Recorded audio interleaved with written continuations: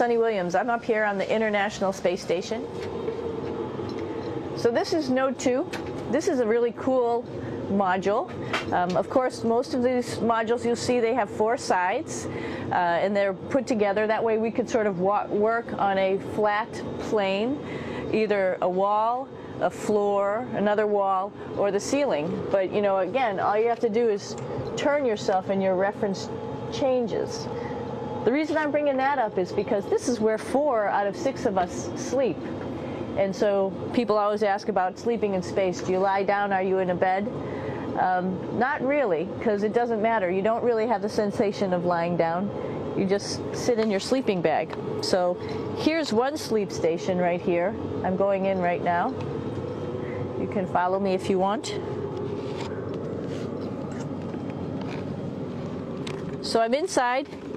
It's sort of like a little phone booth, um, but it's pretty comfy. I've got a sleeping bag right here that we sleep in so we don't have a, sort of like a little bit of a cover. We don't fly all over the place.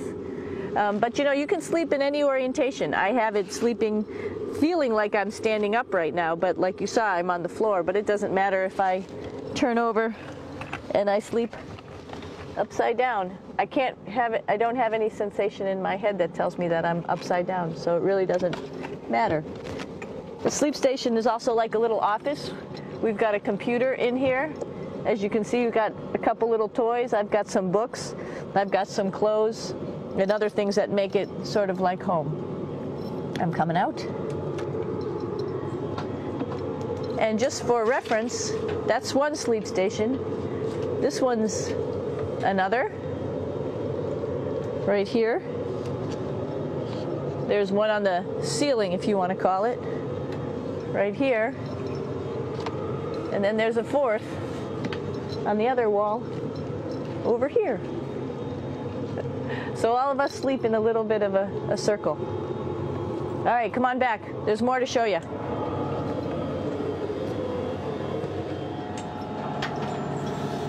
I know that there's some questions about how to use the bathroom and how do you actually live in space like normal, like at home. I mentioned real quickly about getting up in the morning and brushing your teeth and washing your face.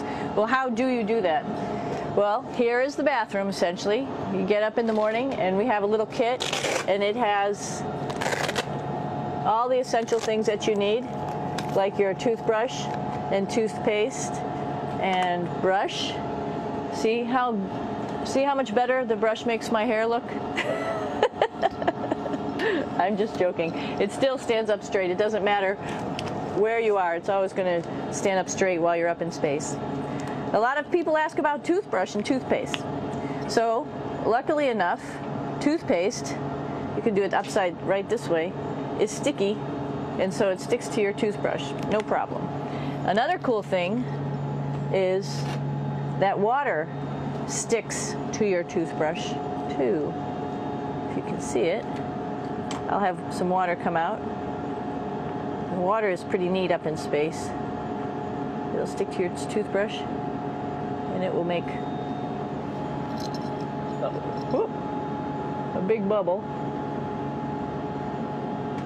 And that's just by surface tension. And then you can drink it.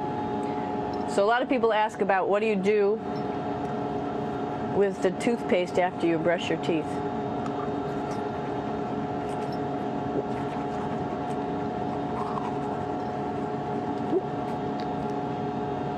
Two options. Swallow it, and it's sort of like mouthwash, but it tastes a little gross.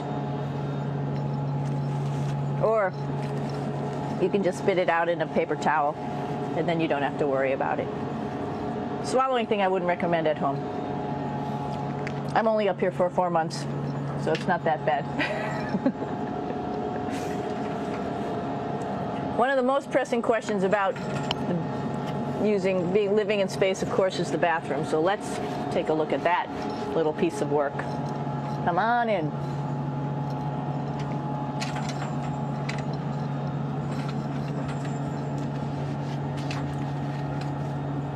Here we are at the throne. This is awesome. You might see the little um, You might have noticed the little moon on the outside. This is our orbital outhouse right here.